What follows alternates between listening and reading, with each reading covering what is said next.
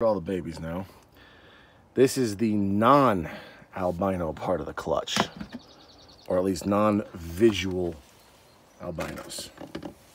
I might have messed up with one of them. That might be. I don't know. But this is a friggin' pile of noodles. I have so many GCs in here.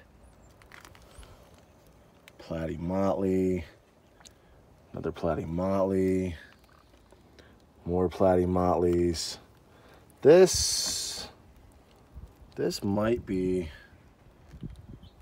yeah, I think actually that is a, I don't know.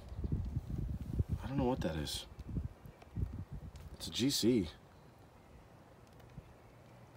Might just be a really light one though. I don't know, we'll have to wait and see.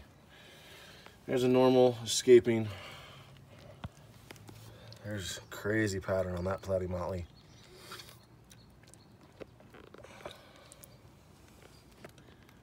And like I said, so many GCs.